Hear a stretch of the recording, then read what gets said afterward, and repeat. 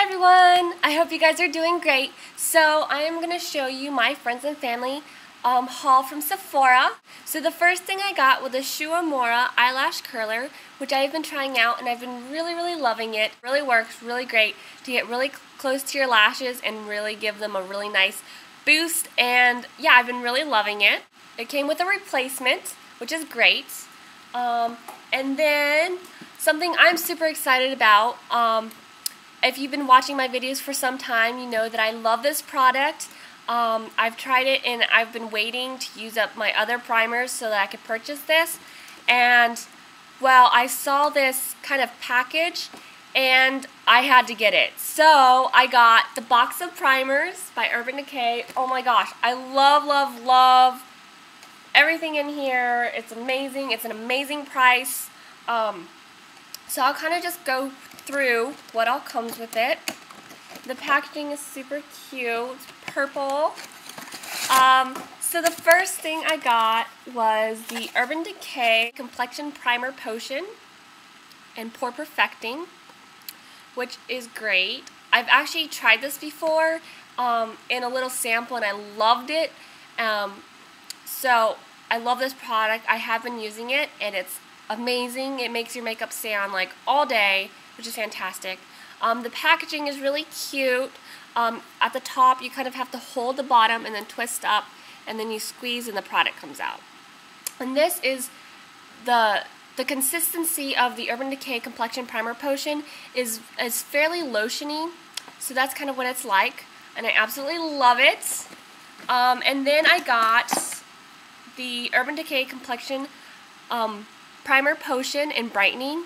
And this is a lot thinner. It's more kind of like a gel based. Um, I'll kind of show the consistency here. Again, with the screw top. And then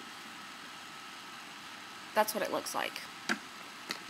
And I don't really know if it really brightens up your face, but um, it works amazing as a primer. I think I even like brightening better than um, the, the pore perfecting only because of the consistency. Um, it's just really, really nice. It soaks in your skin and then you can't feel it, like, and you can't even feel it on.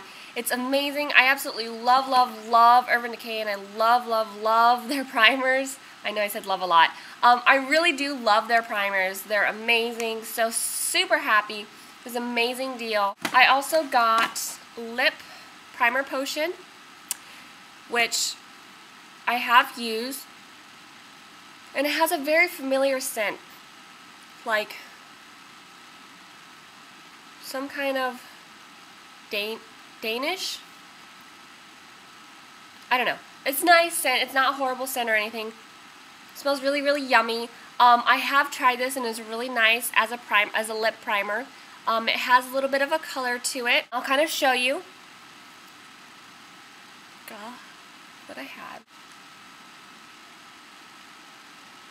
I have fairly pigmented lips, so this is kind of nice to slowly um, take away some of that pigmentation. And then I'm going to take Viva Glam 5. Put it right on top.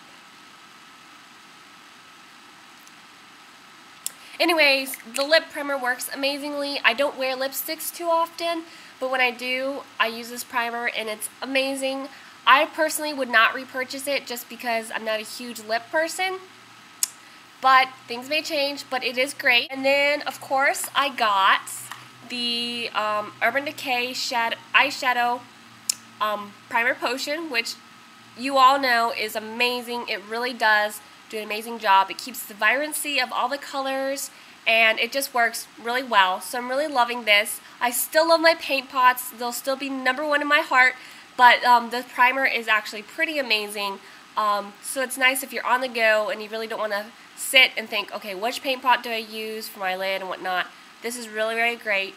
The one thing I do not like about the Urban Decay eyeshadow primer potion is the packaging. The packaging itself is really cute and really adorable.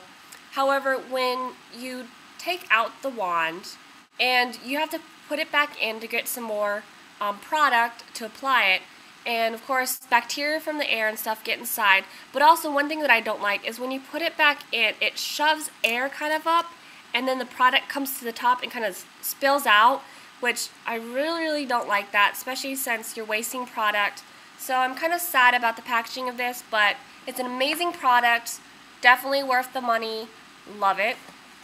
And then I also tried the eyeshadow primer potion, which works amazingly. I love this um, eye or eyeshadow. I love this eyelash primer.